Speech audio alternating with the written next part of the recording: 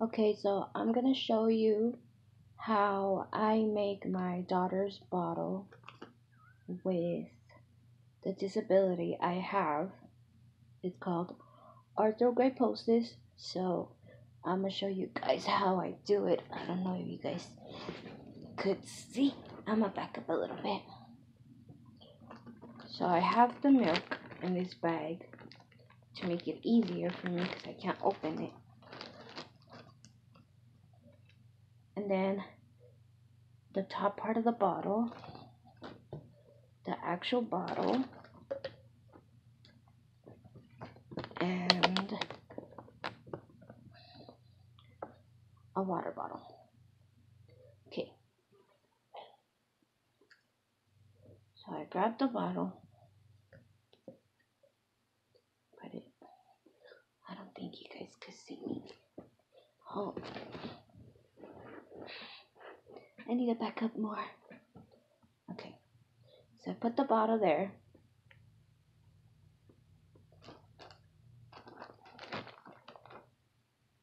The bag, for me, it's easier when it has a ziplock on the top. So I just grab it with my leg and I pull it over. Sometimes I gotta use a little bit more. Put it on this side.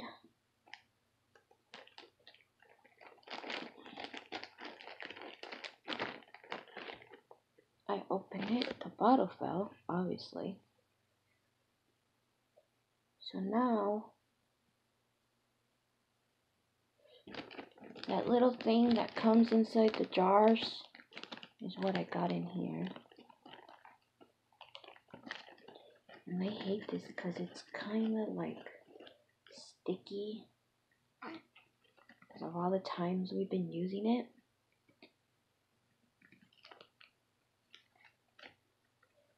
So this is the thing I use.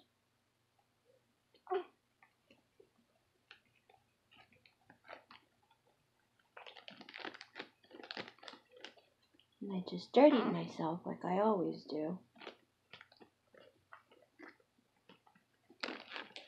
So I grab it with my two hands.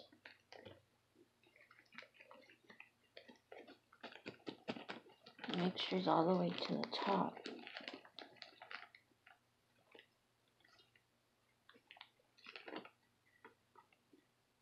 Like that. And then,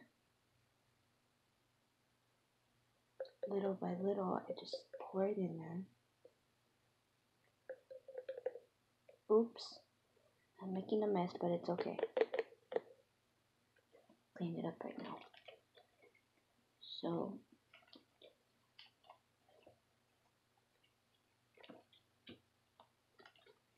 if I could put this back in, maybe it would be faster. So I put it back in.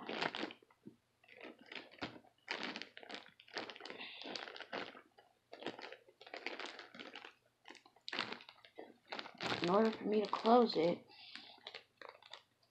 I gotta put it back in here on my lap. And as you can tell, it slides right over. That's done.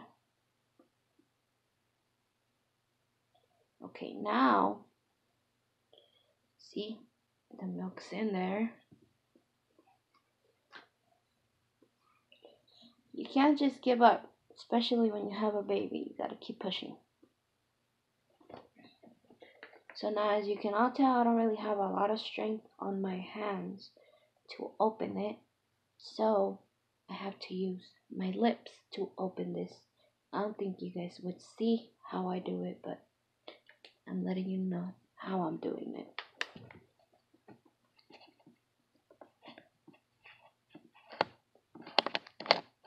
See? And then it comes right off. Make sure I keep it steady. We don't want to drop no no water in the bed. I dropped the milk already. Got myself all dirty. Okay, so the milk's in there already. the way I grab my bottles, I have to cross my hands like this. So I can, I don't know if you guys can see there, but I'm pouring it in the bottle.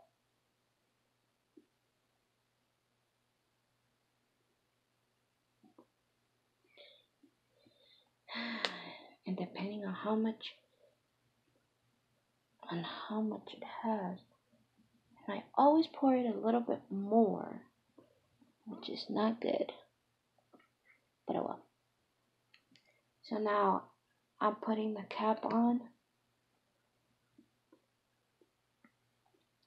Okay, the cap is not really tight because I cannot tighten it.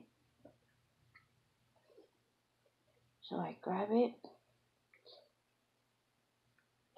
and I turn even though it's not tight tight like really tight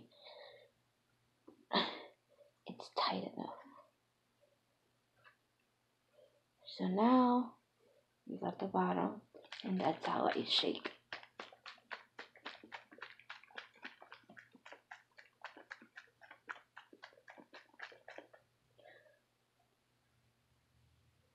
And that's how I prepare my baby's bottle.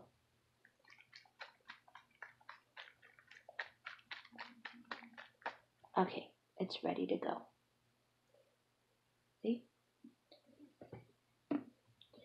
Thank you for watching.